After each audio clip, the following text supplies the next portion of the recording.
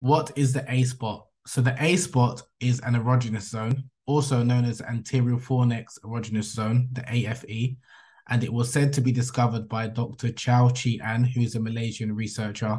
And basically, the A spot is in is in the um, front anterior wall of the vagina, about about five inches approximately, before the cervix, um, and it is in the front wall of the vagina. So that's basically where the A spot is, about five inches into the vagina.